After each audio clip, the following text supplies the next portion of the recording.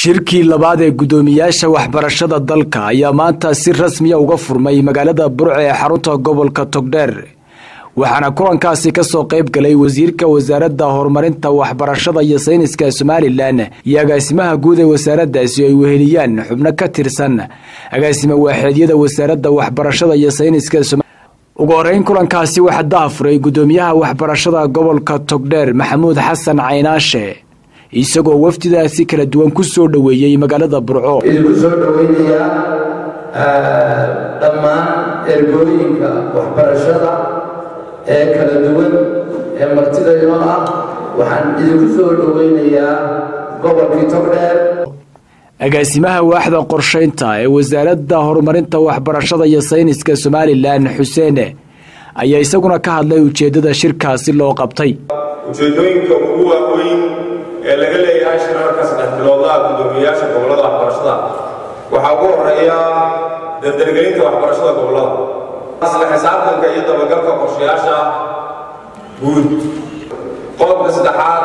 in loo kuulgalo xaaladda waxbarasho ee kolbo gobolka lagu qabanayo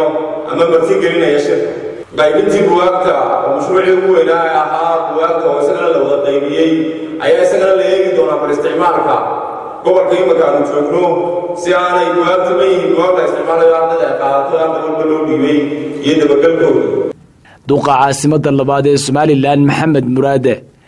oo goobta ka hadlay waxa uu bogaadiyey wasaaradda waxbarashada iyo sayniska islamarkaasina waxa uu ku dheeraaday doorka ay dowladda hoose ka qaadatay kordhinta iyo tayeynta waxbarashada. Barasaab ku-xigeenka gobolka togdheer maxamed cabdilaahi ibraahim nafaqo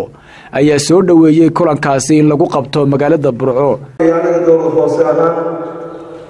waxbarashada asaasiga iyo ta dhexe iyo ta sare intaba waa kala shaqeyna wasaaradda waxbarashada waxaa ugu dambeeya oo aan ku wareejin doonaa haddii ilaahay ka dhigo saddexdii iskuul ee ugu dambeeyey ee aanu samaynay haddii aanu nahay dowladda hoose degmada burco. Maantana haddii wasiirkii wasaaraddaba nala joogaan waa inaanay faramadnaan nagaga noqonin aan hadal ka balan qaado maadaama tayadii aanu ka shaqaynayna iskuullada gaadhigii intaa la ysaga gudbi lahay lagu soo korbeeri lahaana waa inaan maanta aan ka ballan qaadnay baritanaan yimina haddii lahay waxbarashadii waa isku duuban aada iyo aad baan ugu faraxsannahay waxaan leenahay ku soo dhowaada gobolka togdheer guddoomiyaha imtixaanaadka qaranka somalilan daawuud axmed faarax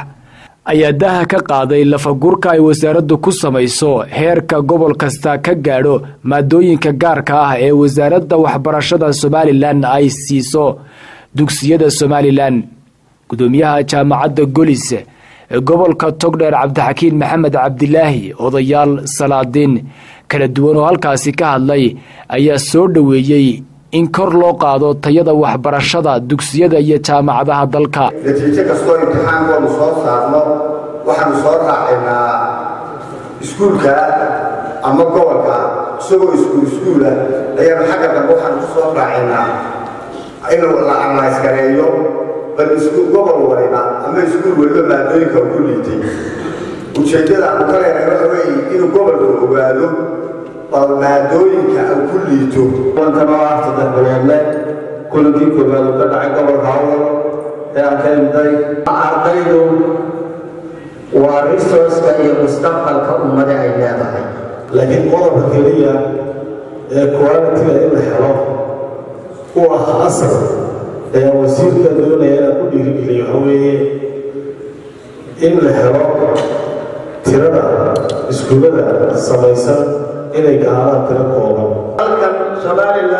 mustaqbalka waxaa la doonayaa inay u soo baxaan jaamacado kooban oo taya leh oo ka turjumaa waxa uu dalkani himilada u leeyahay iyo hiigsu leeyahay. Agaasimaha guud ee wasaaradda waxbarashada iyo sayniska somalilan axmed bokor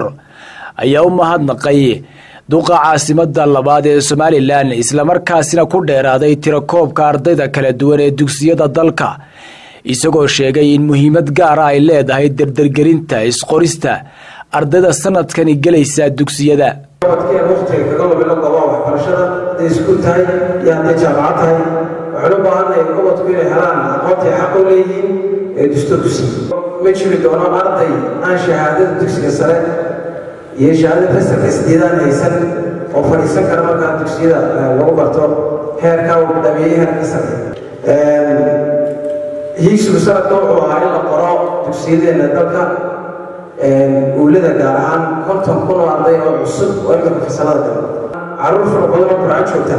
oo da-dii waxbarashada gaadhay laakiin aan haddana iskuulada weli baa jirta. Innaga mas'uuliyad laga saaranta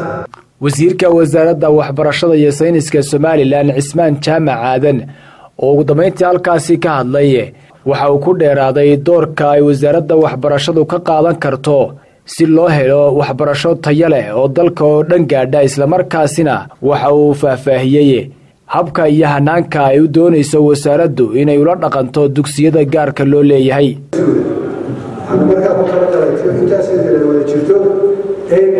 Aanu ciddii si wanaagsan wuxuudana dhiirigelino waxyaalaha naga maqan aanu ku xisaabtanno beegsi aynu samaysano higsi iyo beegsi aynu ku qiyaasayno waxbarashada fikraddeeda iyo wixii ay ku joojin lahayd sidaasi. In ay iyadu xilkaa qaado waa loo dhiibay ay meel mariso waa weeyaan wax kale looga jeedo xumaan kaloo wasaaraddu ay u qabtaan iskuullada gaarka loo leeyahay. Ma jirto cadaawad ka dhaxaysa. Ma jirto waa intaasi aynu sharciga qaranka u yaalla ubadkeena aynu ku hogaamino aynu wax ku baro waa intaasi. Maxamed mataan gabalaax maxamed mooto sahan t v burco